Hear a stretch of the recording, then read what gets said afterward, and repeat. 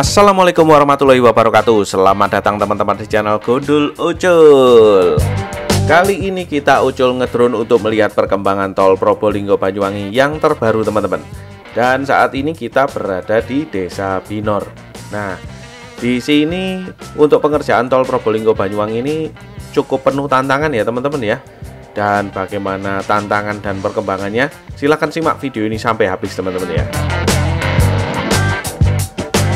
Sebelum kita lanjut videonya, saya ucapkan terima kasih sebanyak-banyaknya buat teman-teman yang sudah subscribe. Buat yang belum subscribe, silahkan subscribe dulu biar nggak ketinggalan update terbaru dari channel Gundul Ucul. Dan di depan kita ini teman-teman, tampak box Corvette yang sudah dirantep besinya ya.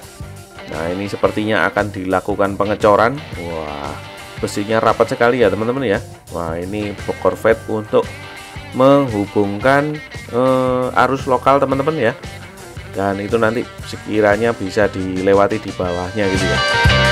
Dan sebelum kita lanjut juga videonya teman-teman di kesempatan kali ini saya ucapkan terima kasih sebanyak-banyaknya dan salam hormat luar biasa untuk bapak-bapak pekerja tol Probolinggo Banyuwangi. Saya ucapkan terima kasih banyak.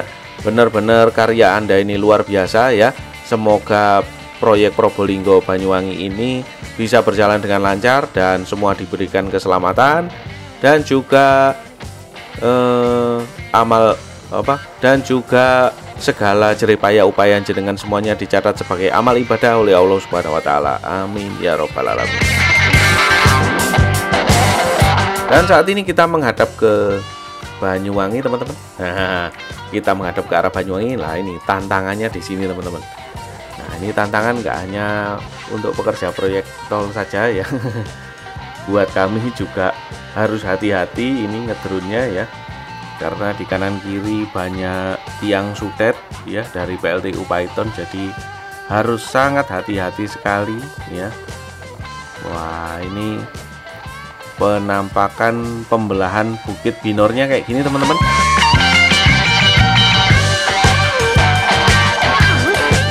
mantap sekali ya teman-teman ya. Dan di sini pengerjaan bokor vet bokor gorong-gorong juga sedang dilakukan ya pengecorannya. Wah.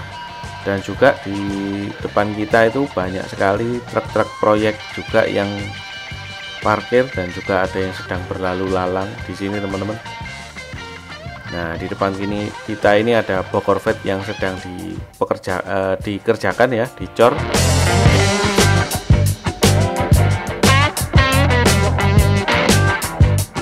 di titik ini memang penuh tantangan kayak gini teman-teman karena harus membelah perbukitan kayak gini teman-teman. Dan tapi kalau misalnya ini sudah jadi ya, wah ini pasti akan menjadi spot dengan pemandangan yang sangat luar biasa indah ini teman-teman ya. Wah mantap sekali teman-teman ya. ini tampak eh, tahap-tahap eh, pembelahan bukitnya kayak gini teman-teman. Wah dibikin jalur-jalur kayak gitu ya mungkin biar enak gitu ya dilewati alat berat alat beratnya. Karena yang bekerja di sini memang alat berat semua ya. Nggak mungkin dong kita macul manual ya.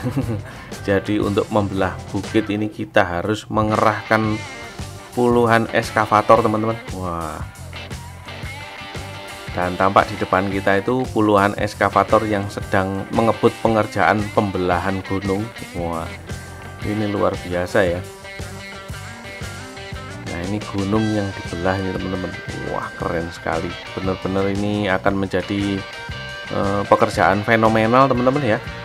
Dan penuh sejarah sekali Karena ini merupakan pekerjaan tol Probolinggo Banyuwangi yang cukup ekstrim ya teman-teman. Nah Wah di sini banyak sekali eskavator dan truk-truk alat berat yang sedang mengebut pengerjaan di sini teman-teman Ya semoga bapak-bapak pekerja proyek ini senantiasa dalam lindungan Allah Subhanahu wa taala ya.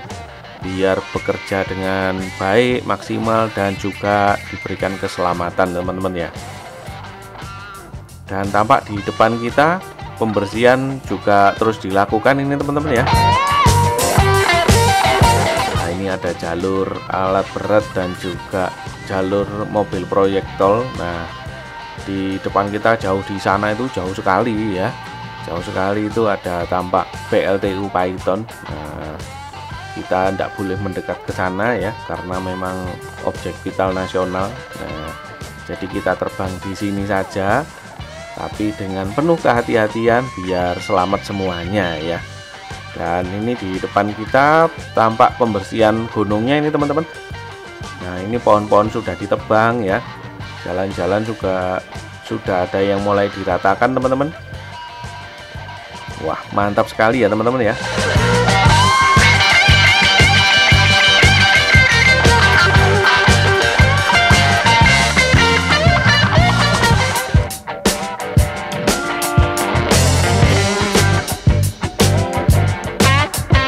Kalau perhatikan di sini jalur pekerjaannya penuh liku-liku. Ya penuh dengan tanjakan dan turunan teman-teman. Jadi benar-benar medannya sangat ekstrim di sini teman-teman ya. Jadi ini wah ini perlu perhatian dan konsentrasi khusus. Ya semoga yang bekerja di sini juga selamat semuanya ya. Tidak ada suatu hal yang tidak diinginkan. Nah, semoga semuanya lancar Wah, jadi benar-benar ekstrim kayak gini loh teman-teman ya. Wah, lihat lah. Tuh ya. Bener-bener apa ya, dikeruk gitu ya gunungnya. Wah, mantap sekali teman-teman ya.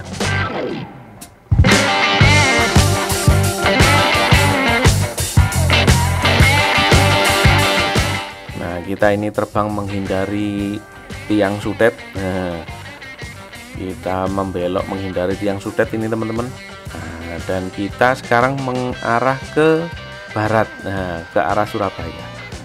Nah, ini kalau lurus ke sana ya, ini jalur tolnya menuju ke Surabaya ini teman-teman. Nah, kayak gini penampakan ya pengerjaannya.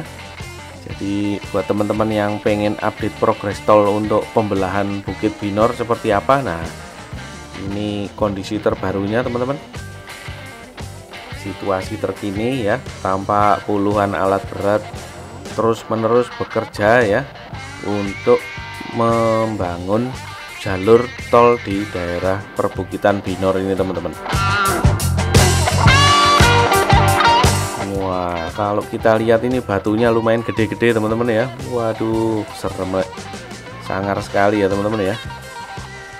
Batunya gede-gede juga medannya penuh dengan tanjakan dan turunan. Wah ekstrim sekali ya teman-teman ya. Nah dan mungkin ini pengerjaannya dikebut di spot sini dulu ini teman-teman. Ya barangkali nantinya akan berangsur-angsur ke arah timur ya. Nah tapi untuk per update saat ini ini pengerjaannya berada di spot bukit ini teman-teman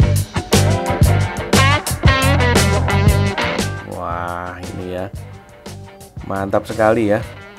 Alat beratnya dikerahkan banyak gitu ya dan saat ini kita menghadap ke Surabaya teman-teman.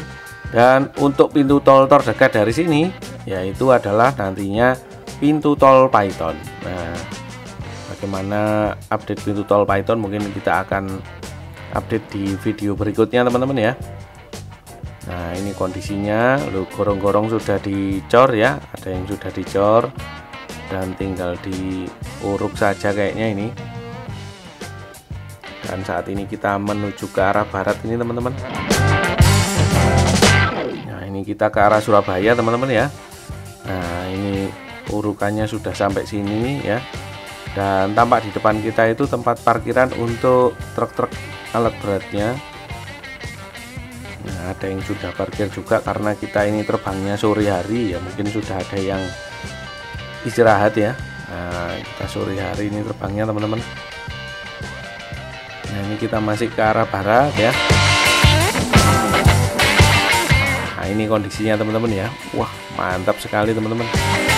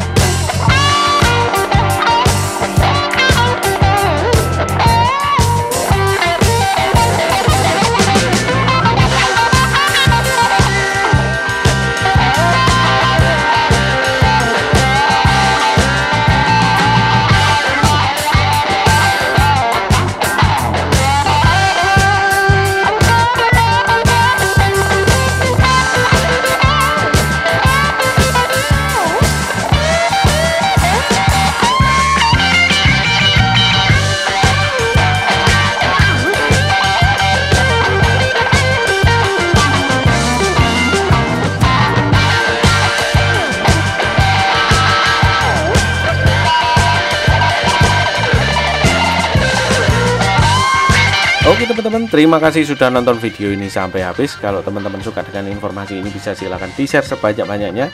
Semoga bermanfaat. Terima kasih. Assalamualaikum warahmatullahi wabarakatuh.